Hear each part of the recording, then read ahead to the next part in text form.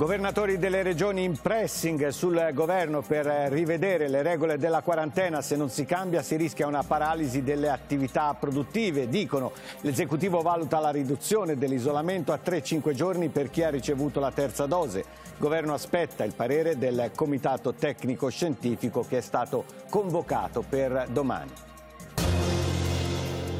Continua a salire il numero dei contagi dopo il fine settimana natalizio con meno tamponi processati. In Veneto oggi nuovo record di casi da inizio pandemia con oltre 7.400 nuovi positivi nelle ultime 24 ore. L'impennata probabilmente legata anche ad un minor tasso di registrazione dei tamponi nei giorni festivi. Pareri a confronto li ascolteremo tra due esperti sull'ipotesi di lockdown per non vaccinati in Italia in, sul modello eh, adottato in Germania.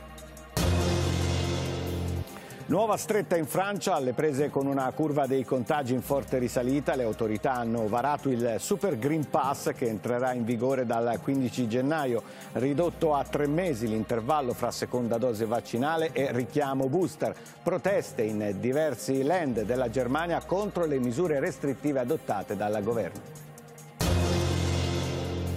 Riprendono le manovre politiche in vista dell'elezione del capo dello Stato. La partita per il Colle è, centro, è, stata sicuramente al centro del faccia a faccia notturno tra Salvini e Renzi in Senato durante l'approvazione della manovra. Formalmente il nome di Berlusconi resta in campo nel centrodestra che è però meno unito di come voglia far apparire. Forti divisioni anche a sinistra e dentro il PD dove il fronte pro Draghi del segretario Letta trova avversari.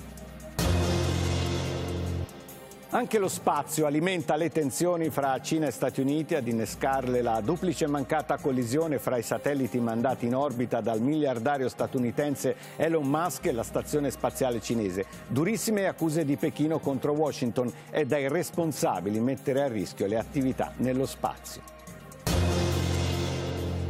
Per lo sport il trionfo di Dominic Paris nella discesa libera di Coppa del Mondo disputata al Bormio per l'Azzurro, la sesta vittoria sulla pista Stelvio, mai nessuno come lui. Paris ha vinto davanti agli svizzeri Odermatt e Dinterman.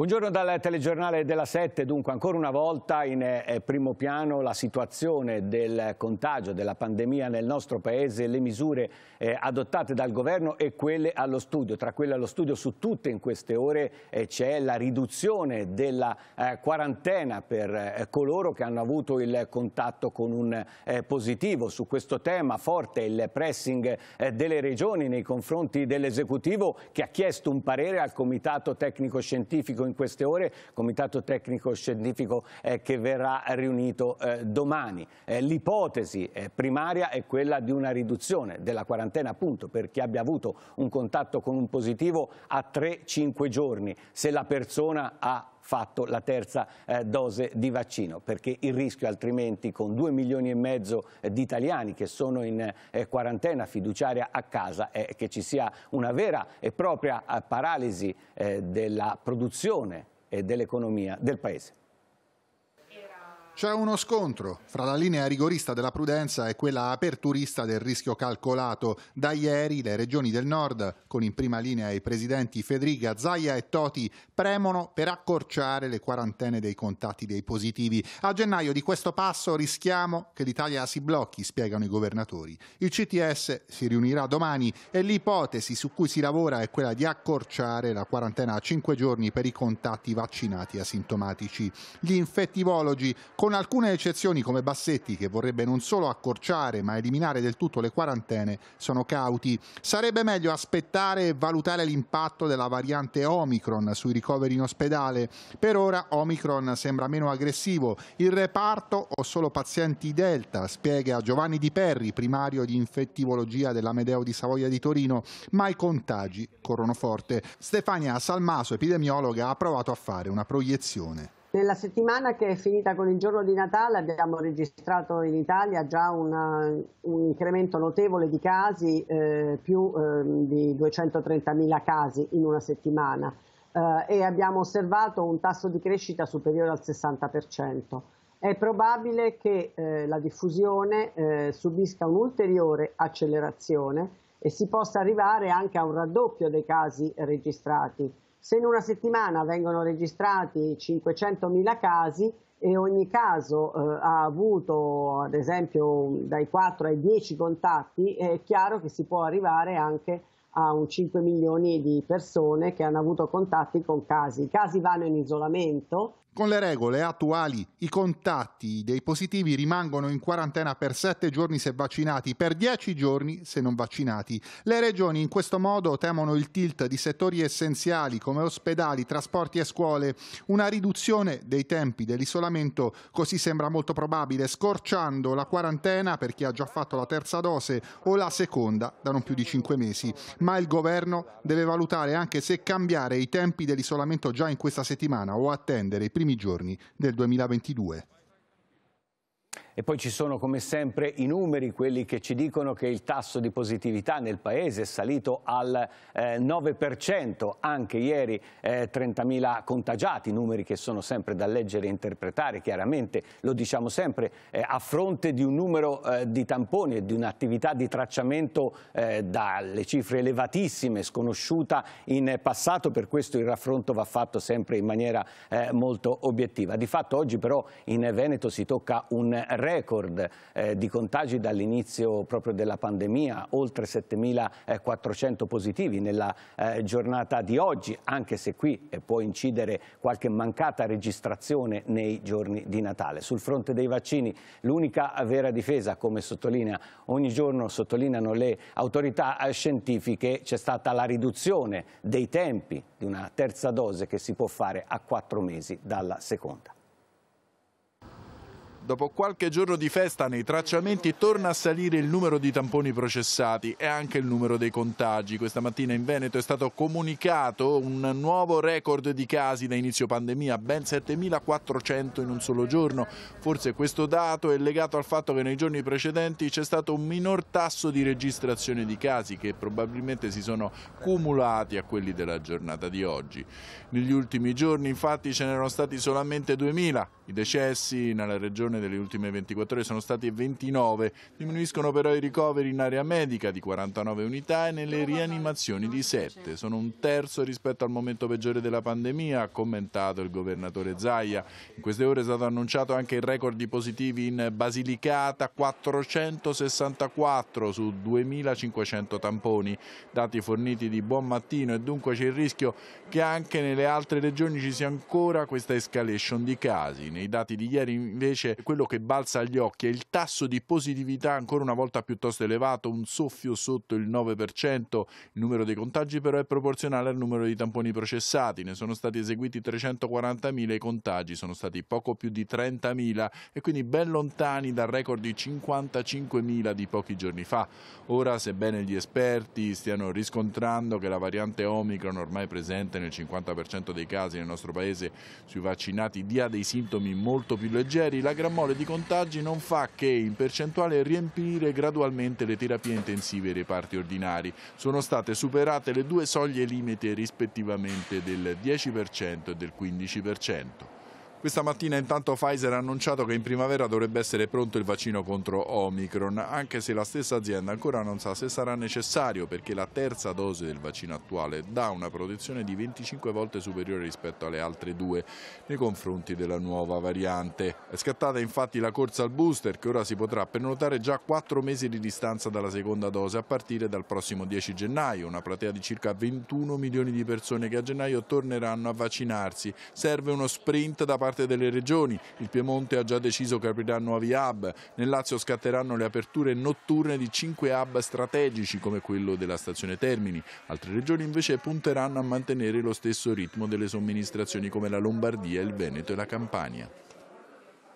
E dunque in questo scenario, se da un lato, come abbiamo visto all'inizio del telegiornale, si pensa a ridurre la quarantena per i vaccinati venuti a contatto con un eh, positivo, nel dibattito, al centro del dibattito eh, c'è anche l'idea eh, delle restrizioni per coloro che il vaccino proprio non vogliono sapere di eh, farselo. Eh, il famoso lockdown per i non vaccinati, modello eh, preso appunto in prestito dalla Germania che sta dando proprio in Germania eh, risultati significativi. Io credo da valutare il lockdown per i non vaccinati. È stato efficace in Germania e credo che potrebbe replicarsi anche per quanto riguarda l'Italia proprio. Il professor Fabrizio Pregliasco, virologo e docente dell'Università Statale di Milano, da giorni propone il modello tedesco del lockdown per i non vaccinati per convincere quel 10% di italiani non ancora immunizzati. Pregliasco segnala in fatto che il sistema tedesco ha comunque funzionato e pertanto è degno di nota. L'incidenza settimanale in Germania continua a scendere, il dato delle nuove infezioni per 100.000 abitanti ieri era 215,6 mentre il giorno precedente era 200 222,7, una settimana fa a 306,4 ed un mese fa a 452,2. Ho sempre detto, prosegue Pregliasco, anche quando si parlava soltanto di sindrome influenzali, che i contatti stretti tra parenti ed amici durante le feste avranno un effetto che vedremo nei prossimi 15 giorni quando riapriranno anche le scuole. Togliere la quarantena ai contatti dei positivi e chiudere il tamponificio Italia sono invece i cavalli di battaglia di Matteo Bassetti, direttore della clinica malattie infettive dell'ospedale San Martino di Genova, che ricorda come il tampone dovrebbe essere sempre richiesto da un medico, mentre ormai c'è una corsa all'autoprescrizione. Come noto, ricorda Bassetti, specie i tamponi rapidi fanno falsi negativi fino al 40% e c'è chi forte di una falsa patente di tranquillità se ne va tranquillamente in giro da positivo. Ma sul lockdown per i Novax Bassetti ha una posizione differente da Pregliasco. Più che arrivare a un lockdown per i non vaccinati, che evidentemente non credo che sia una cosa semplice da farsi, perché cosa vuol dire che i non vaccinati non escono più di casa, i non vaccinati in qualche modo non vanno più eh, a lavorare. È evidente che da medico sarebbe contento se si potesse trovare degli strumenti per vaccinare più persone, ma non credo che sia quello della contrapposizione del muro contro muro eh, in qualche modo lo strumento oggi. Forse è più opportuno oggi eh, parlare ancora una volta, dopo un anno, facendo vedere quelli che sono i benefici ottenuti con eh, i vaccini, che si stanno ottenendo con i vaccini e finirla con l'ideologia e chi ancora ha paura si deve convincere che l'unico modo che abbiamo per poter uscire dalla pandemia è quello di vaccinarsi. E questi dunque, come avete sentito, sono i, i pareri degli esperti messi a confronto in eh, questo eh, dibattito della Germania, peraltro eh, alle prese, vedremo tra poco anche con eh, vibranti proteste di piazza per quelle che sono state eh, le restrizioni, le iniziative eh, prese dal governo per arginare il virus. Poi ci sono paesi su tutti gli Stati Uniti che la quarantena per coloro che hanno avuto dei contatti diretti non la prevedono più, addirittura hanno hanno ridotto a cinque giorni l'isolamento di eh, persone positive se asintomatiche. Di fatto invece la variante Omicron corre molto velocemente, l'Europa la teme e paesi come Francia e Regno Unito eh, pensano e attuano anche già nuove iniziative. Per sconfiggere la variante Omicron del Covid, la Francia segue l'esempio tedesco. Chi voglia partecipare alla vita sociale potrà farlo solo a patto di essere vaccinato o guarito. A stabilirlo è l'Eliseo, con un provvedimento che, se approvato in Parlamento, trasformerà il pass sanitario in pass vaccinale, operativo dal 15 gennaio. Vista la riduzione dei contagi da oltre 70.000 a 12-13.000 al giorno, ottenuta in Germania imponendo un lockdown parziale ai Novax, dunque, anche i 5 milioni di francesi non immunizzati non potranno andare a teatro, al cinema, in palestra, viaggiare in treno o in aereo.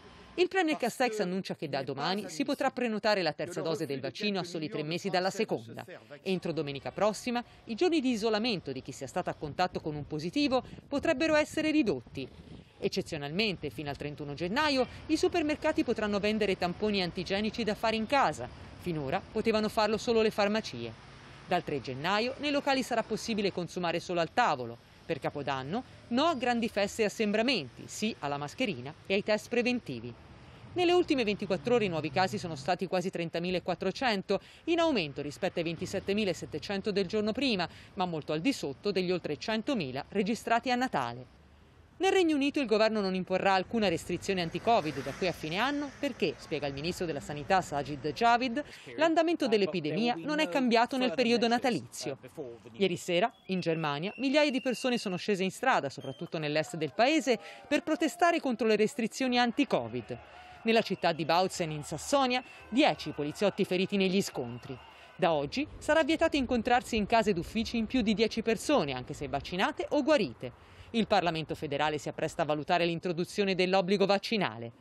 Gli Stati Uniti riducono da 10 a 5 giorni l'isolamento per i positivi al Covid asintomatici ed eliminano la quarantena per i vaccinati con terza dose che abbiano avuto contatti con positivi.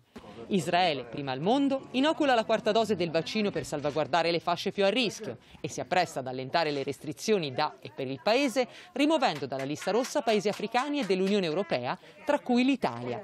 Il Sudafrica, infine, sospende il tracciamento dei contatti con i positivi al Covid perché la maggioranza della popolazione sarebbe già entrata in contatto col virus. Ecco, tornando in Italia andiamo adesso a vedere come eh, preoccupi in questa fase la conseguente crisi del eh, turismo con molte prenotazioni che sono state disdette soprattutto per quanto riguarda la montagna con la ristorazione eh, che torna a soffrire. Ci sono le associazioni di categoria che stimano che senza un'immediata proroga da parte del governo di quelli che sono gli ammortizzatori sociali Covid da gennaio ci possano essere almeno 200.000 lavoratori lavoratori del settore completamente scoperti, privi di stipendi.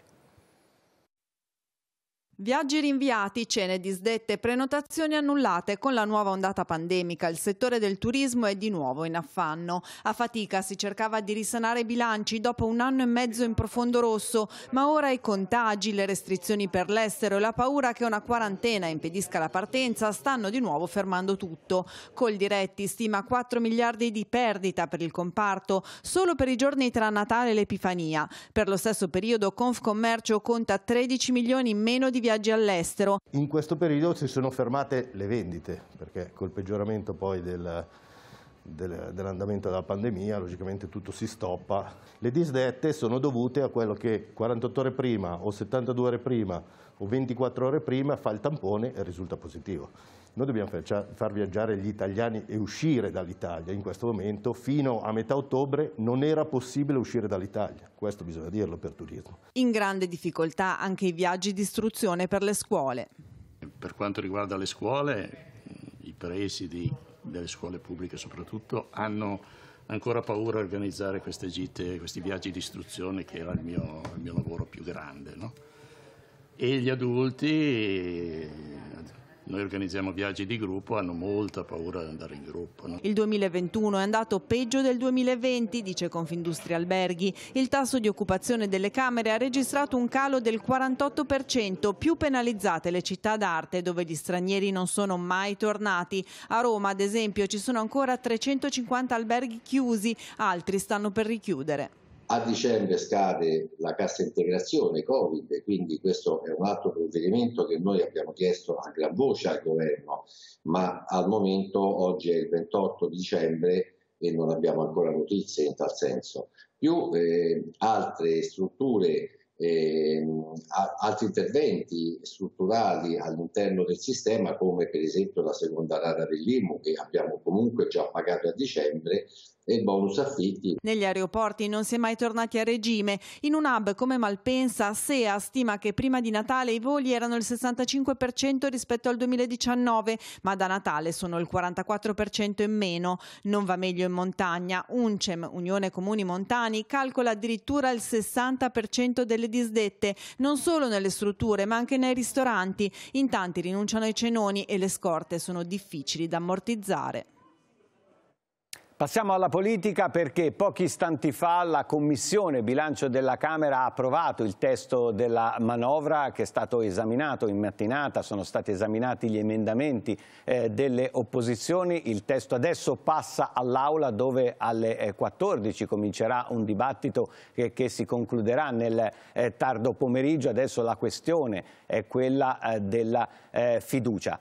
proprio durante una sessione fiume che riguardava appunto il percorso, l'iter della manovra, in Senato a tarda notte c'è stato un colloquio, un faccia a faccia tra Matteo Renzi e Matteo eh, Salvini. Il tema presumibilmente quello che eh, anima il dibattito tra i partiti in questa fase, ovvero la corsa al colle, il nome per il eh, Quirinale e c'è da dire che quel che si sono detti non è dato al momento saperlo, ma sicuramente attiene a strategie che vede, vedono i partiti in questa fase andare un po' in ordine sparso. Mezz'ora di faccia a faccia sotto gli occhi di tutti in aula. Cosa ci siamo detti rimane tra noi.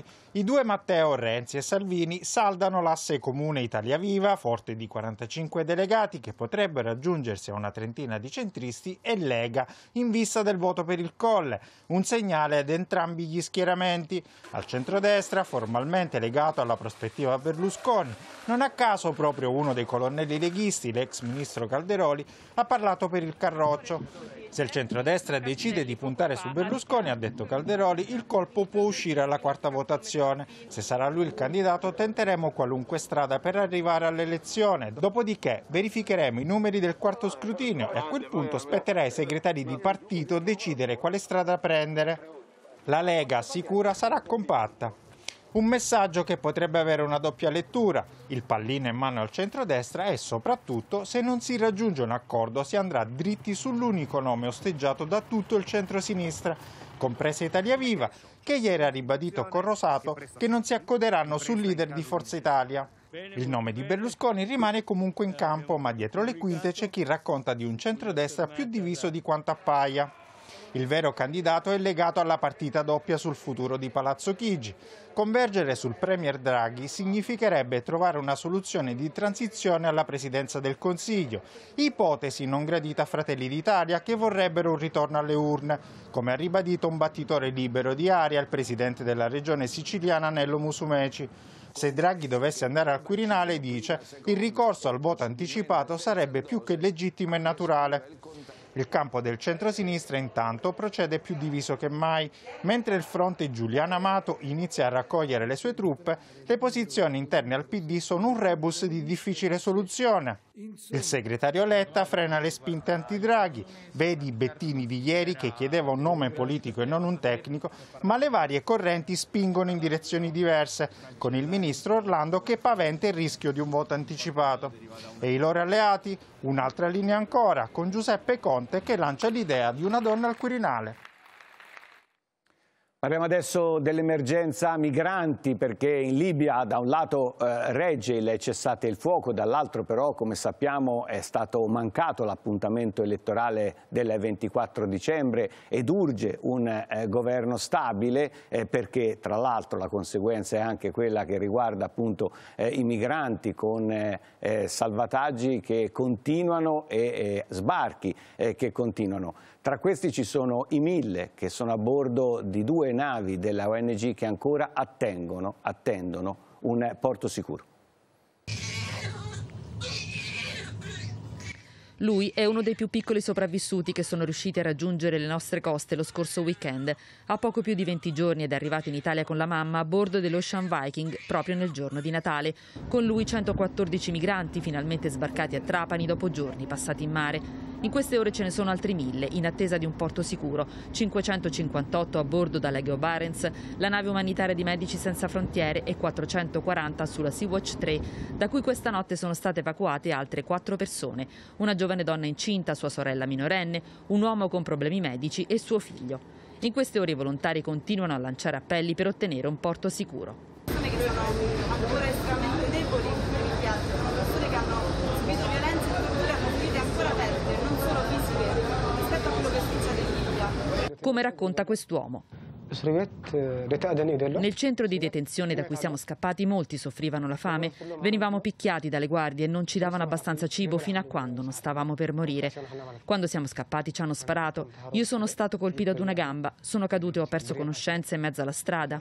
Ci sono molti abusi sulle donne, racconta poi. Il prezzo più alto lo pagano loro, nonostante questo spesso non riescono a riacquistare la libertà.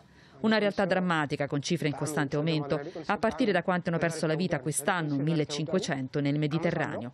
I migranti sbarcati sulle nostre coste finora sono stati 66.432, il doppio rispetto all'anno scorso, sei volte di più rispetto al 2019.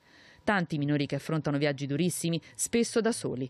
Quelli non accompagnati arrivati quest'anno in Italia sono stati 9.478 rispetto ai 4.687 del 2020 e ai 1.680 del 2019.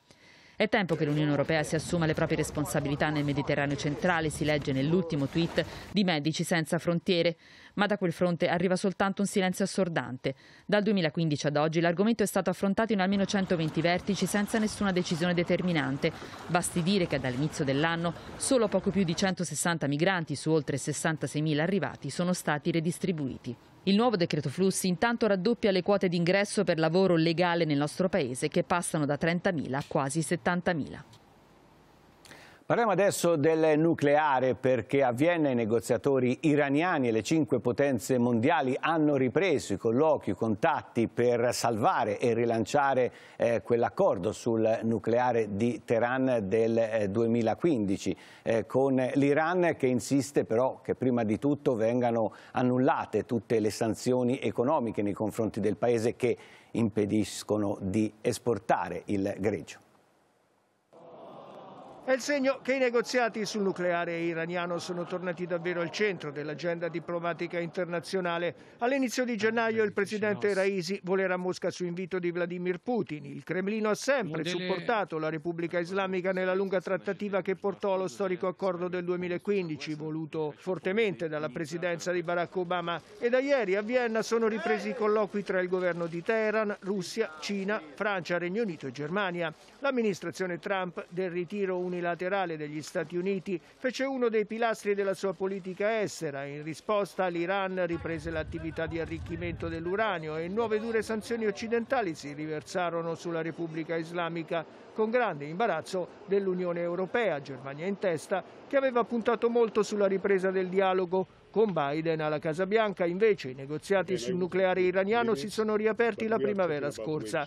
In un momento di emergenza energetica generale la questione è cruciale. Sotto embargo l'Iran, quinto paese al mondo per produzione petrolifera, estrae 2 milioni di barili al giorno, assorbiti interamente dal fabbisogno cinese. Negli anni 70 viaggiava al ritmo di 6 milioni di barili ed oggi l'obiettivo è arrivare almeno a 4 milioni entro la primavera. Ma per questo ovviamente devono cadere le sanzioni sanzioni. La delegazione iraniana chiede la ripresa dell'esportazione di greggio senza limitazioni e la possibilità di depositare gli introiti in banche iraniane in valuta estera. Ma nonostante l'intenzione dichiarata, gli Stati Uniti finora hanno mantenuto la posizione di Trump e per il segretario di Stato Blinken le sanzioni resteranno in vigore fino alla firma di un nuovo accordo. Teheran invece vorrebbe la fine immediata di ogni restrizione, in caso contrario proseguirà nel suo programma nucleare, ma se i colloqui a Vienna dovessero fallire si impegna comunque a non superare la quota del 60% di arricchimento di uranio, un segnale di distensione. Washington deve però in ogni caso tener conto della pressione israeliana. Siamo pronti ad agire contro l'Iran anche da soli, ha ammonito il ministro degli esteri Lapid, convinto che sul nucleare l'Iran stia ingannando il mondo solo per ottenere la revoca delle sanzioni. Le possiamo davvero definire guerre stellari? E verrebbe eh, proprio da chiedersi ma quanto spazio c'è nello spazio? Eh, se è vero, come è vero che eh, la Cina, alquanto risentita, ha dovuto inviare un documento alle Nazioni Unite per eh, lamentare che una sua stazione spaziale ha dovuto evitare con manovre specifiche una di quelle che viene definita appunto costellazione di satelliti creata e lanciata nello spazio dal multimiliardario Elon Musk fondatore anche di Tesla. L'ultima polemica tra le due superpotenze che si contendono il dominio economico del pianeta e anche dello spazio si consuma sulle nostre teste. Questa volta è Elon Musk, il patron di Tesla e di SpaceX, l'uomo più ricco del mondo, ad irritare Pechino per un presunto duplice rischio di collisione, ancora però non verificato, tra la stazione spaziale cinese e alcuni satelliti mandati in orbita nell'ambito del progetto Starlink Internet Service del multimiliardario statunitense. Secondo quanto denunciato da Pechino in un documento ufficiale consegnato all'Agenzia Spaziale delle Nazioni Unite, per ben due volte a luglio e poi ad ottobre i cinesi hanno evitato solo grazie ad una serie di manovre spaziali di scontrarsi con i satelliti della SpaceX. Sono quasi 2000 quelli che orbitano attualmente attorno alla Terra per portare connettività in tutti gli angoli del pianeta di proprietà di Elon Musk, che pianifica di lanciarne presto degli altri. Ma Quale rischio? Molto alto secondo i cinesi, tanto che lo stesso governo di Pechino, tramite il Ministero degli Esteri, nel denunciare l'accaduto, esorta gli Stati Uniti a comportarsi in maniera responsabile nello spazio aereo, tra l'altro non suo ma esterno. Elon Musk non ha ancora fornito spiegazioni Dettaglio che non è sfuggito ai cinesi con tanto di inviti che rimbalzano sui social network del dragone a boicottare il prodotto che Musk esporta maggiormente in Cina, ossia le sue Tesla. Il mercato cinese rappresenta circa un quarto del totale e la Tesla ha anche una fabbrica a Shanghai. Quello dei detriti spaziali è un tema non certo nuovo, gli appelli degli scienziati perché i governi si mettano d'accordo e facciano il possibile per evitare collisioni tra satelliti, detriti e frammenti si sono moltiplicati negli anni. Lo scorso mese la NASA è stata costretta a cancellare una passeggiata spaziale proprio per il rischio di possibili incidenti. Ci fermiamo adesso per una breve pausa pubblicitaria, poi torniamo con aggiornamenti e pagina sportiva. Tra poco.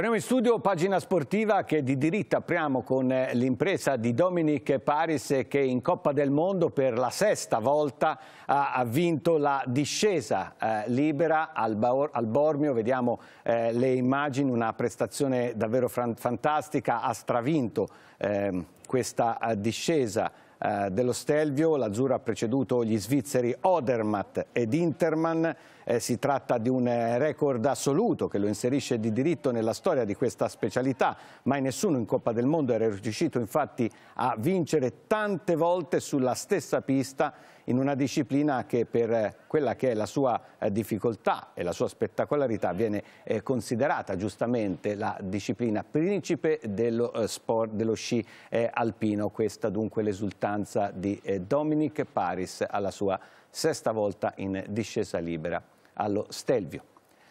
E adesso passiamo ai temi del calcio e alle trattative del calcio mercato di riparazione. I pochi soldi che girano intorno all'imminente mercato di gennaio serviranno a garantirsi gol dei centravanti e in circolazione adesso ce ne sono pochi. Per questo la Juventus sta facendo di tutto per portare a Torino Gianluca Scamacca e nel primo incontro col Sassuolo dopo le feste ha avanzato una proposta complessiva da 35 milioni per averlo subito.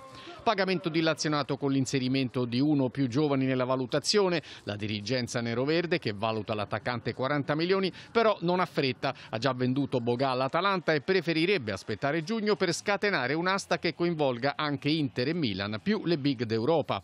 Per fare casa intanto la Juve ha messo in vetrina i suoi centrocampisti Arthur e Ramsey, uscite obbligate per equilibrare i bilanci. Il Milan non sembra avere avversari nella corsa al gigante difensivo Sven Botman. Per i 195 cm del 21enne olandese i francesi dell'Illa hanno chiesto 30 milioni per il cartellino, controproposta del club rossonero per un prestito con diritto di riscatto che dovrebbe concretizzarsi a breve. In casa Napoli, oltre al mancato rinnovo di capitano Insigne, ci sono i malumori di Mertens, trascurato da Luciano Spalletti. Ma è sulla difesa che il club vorrebbe intervenire subito e il nome caldo sembra essere quello di Kumbulla, che trova poco spazio nella Roma di Murigno, seguito anche l'ungherese del Fenerbahce Zalai. Intanto a Trigoria è addirittura d'arrivo la trattativa che porterà nella capitale il 24enne Maitland Nils, la cui duttilità tattica mostrata nell'Arsenal ne fa il profilo ideale sia per il centrocampo che per il ruolo di terzino. 750.000 euro per il prestito fino a giugno con diritto di riscatto fissato a 10 milioni. Anche la Lazio cerca rinforzi in difesa. L'addio di Lazzari aprirebbe le porte al francese Kurzawa, ormai ai margini del Paris Saint-Germain, ma dall'ingaggio proibitivo. In caso è già pronta l'alternativa. Nicolò Casale, che il Verona non avrebbe problemi a cedere. Come vice immobile spuntano invece i nomi di Lasagna e Kalinic. Intanto nella serata di ieri la Sandoria ha annunciato il nome del nuovo presidente. Marco Lanna, 53 anni, ex bandiera blu cerchiata, dovrà gestire il dopo Ferrero. Tutto il mondo dello sport, lo abbiamo visto anche ieri, sta facendo in eh, questi giorni i conti con il Covid. Nel calcio italiano si moltiplicano le eh, positività e ci sono allo studio iniziative perché il mondo del pallone, soprattutto la nostra Serie A, non corre il rischio di eh, doversi fermare. Il messaggio del Presidente federale Gravina è chiaro, siamo disposti a tutto ma chiediamo solo di non essere fermati perché il calcio è l'infa per l'economia del nostro Paese. In quel tutto usato dal numero uno della FIGC c'è anche l'obbligo vaccinale per i calciatori. Una possibilità che in realtà Gravina già preso in considerazione in passato, ne aveva parlato a fine luglio e tornato a parlarne a novembre affrontando il tema dei giocatori Novax. A innescare il nuovo affondo sono stati due nuovi fattori. Primo, l'aumento del numero dei positivi dovuto alla variante Omicron. Secondo, il decreto anti-Covid varato dal governo che prevede a partire dal 10 gennaio l'obbligo di Green Pass rafforzato, quindi di vaccinazione o certificato di guarigione nei precedenti sei mesi per chi usa palestre, piscine e per sport di squadra al chiuso. Se è vero che il calcio si gioca all'aperto, è anche vero però che i calciatori fanno uso dello spogliatoio che è luogo chiuso.